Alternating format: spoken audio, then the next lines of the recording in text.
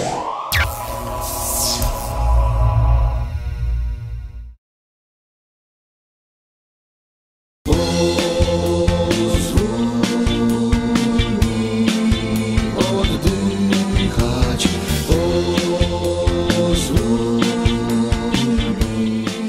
To dramatyczny apel mieszkańców Krakowa, a jednocześnie nietypowa akcja edukacyjna miasta, które pod względem zanieczyszczeń zajmuje niechlubne trzecie miejsce w Europie.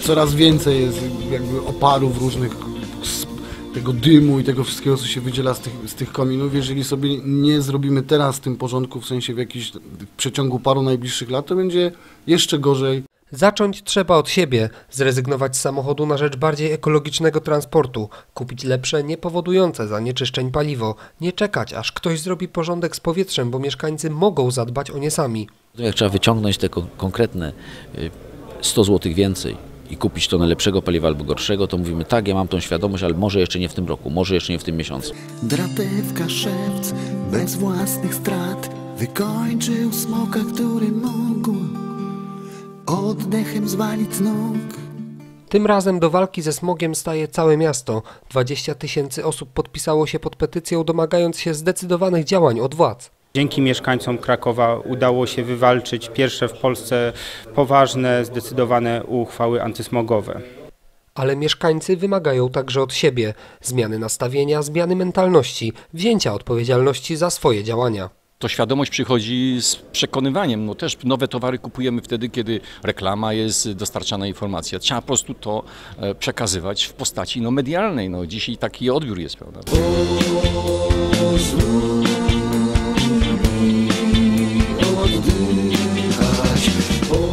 Chodzi o coś więcej niż ulotki i plakaty. Kraków znalazł sposób na dotarcie do ludzi ze skuteczniejszym przekazem. My to zrobili po to, nagraliśmy tak wpadający w ucho, że tak powiem, y, refren, żeby to, mogły, żeby to mogli wszyscy śpiewać, mogli tego słuchać i do tego się bujać. No, chcielibyśmy dotrzeć do całej publiczności. I w ten sposób wymusić konkretne zmiany. Dopiero to, co mówiliśmy tyle lat, yy, trafia do zrozumienia. Sądzę, że mieszkańcy Krakowa już są świadomi, a Małopolski niebawem Gdy będą. stare miasto kryje noc Tysiące pieców dymi tu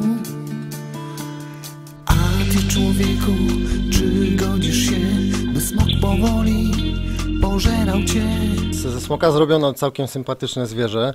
Ubiera się go w czapkę krakowską, natomiast no, w legendzie pustoszył, palił e, i był problemem dla miasta, tak jak e, problemem jest e, smog.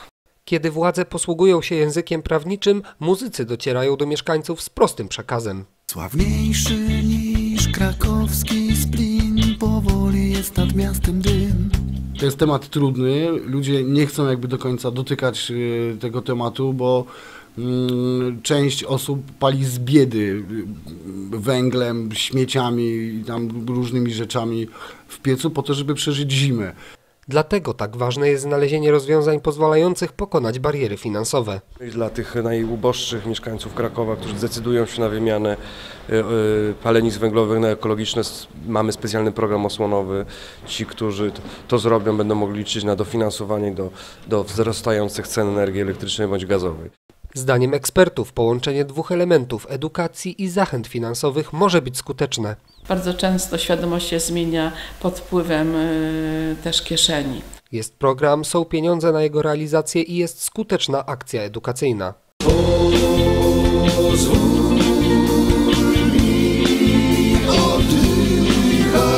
No, słowa są tak mocne, jak mocny jest problem, prawda? E, w tym mieście coraz trudniej się oddycha.